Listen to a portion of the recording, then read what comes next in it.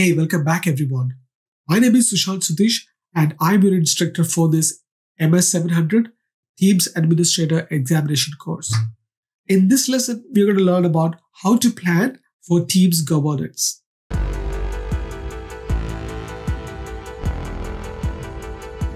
Microsoft Teams provide a rich set of tools to implement governance capabilities for organization. When planning for governance, you should consider the following areas. Group and team creation, naming, classification, and guest access. How do you manage Teams feature management? And how are you going to manage group and Teams expiration, retention, and archiving, etc. To quickly implement governance in Teams, organizations should focus on these areas. Who can create the group within your organization? What sort of a naming convention you want to set as a template for your organization? What meeting capabilities you would like to provide for your users? Do you want to include any sort of external third-party apps to be approved? Or do you want to enable guest access or external user access within your team's collaboration platform? And how are you going to manage and maintain your data security within your teams? Organization oftentimes implement strict controls on how teams are named and classified, whether guests can be added as team member and who can create teams, etc. You can configure each of these areas by using Azure Active Directory. This is the following table which includes some of the questions you should consider when planning for group and tenant creation policies. Does your organization require a specific naming convention? Do team creators need the ability to assign organization-specific classification to teams? Does your organization require limiting who can create teams? Or do you need to restrict the ability to add guest teams on per teams basis as well? Please note that limiting groups and team creation can slow your users' productivity because many Office 365 services require that groups to be created for services to function. So after you have determined your requirements, you can implement them by using Azure AD controls then organizations might have additional requirements for setting policies for expiration, retention, and archiving teams and teams data. Group expiration policies can be configured to automatically manage the life cycle of a group and retention policies to preserve or delete information as needed.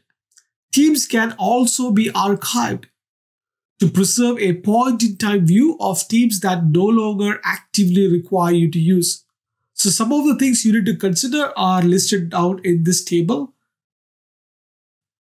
Some of the questions you need to ask are, do you require specifying an expiration date for teams? Do you require specific date retention policies to be applied to teams? Does organization expect to require the ability to archive inactive teams to preserve the content in a read-only state. Another important aspect of governing and lifecycle management for teams is the ability to control what features users will have access to.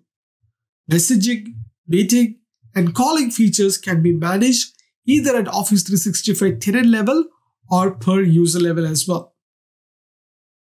So some of the things you need to consider are do you require limiting Teams features to your user tenant? Do you require limiting Teams features for a specific user as well? Once you have identified your Teams governance topic, you should consider the following steps to develop a governance roadmap for your Teams rollout project. Things like document your organizational requirement, plan to implement your specific requirement, and communicating and publishing your policies to inform your team's users and behavior they can expect. Planning for lifecycle management is essential for organization to get the most out of Microsoft Teams. Like most projects, creation and management of teams passes through beginning, middle, and end stages. However, Teams has such a variety of users that it may not always be obvious which stage a project is in. Having a plan for lifecycle management will help track an organization's project as they go through these stages. In teams, individual users have its own lifecycle within the following sequence initiate, active, and sunset. The key decision points to consider the beginning stages include what's the team's purpose, who belongs on the team, will the team be private or public, who will have permission to create channels, what initial channel will be added to the teams, etc.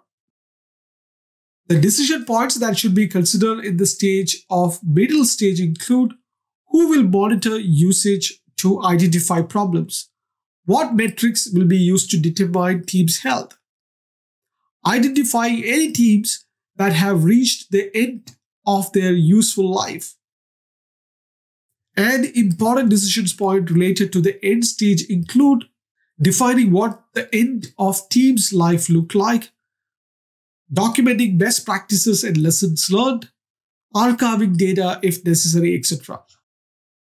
You can configure and manage the team's lifecycle through the Teams Admin Center, the Office 365 Admin Center, and Azure AD Admin Center as well. If you wish to automate specific management tasks throughout the team's lifecycle, you can do so by using PowerShell and Graph API automation tools as well. So this is the diagram which shows you about all the type of automation you can enable during different life cycle within teams. Now that we have learned about how to govern teams and what are the life cycle stages of teams, in the next lesson, we're going to explore teams management tools. So we'll see you in the next video. Till then, take care.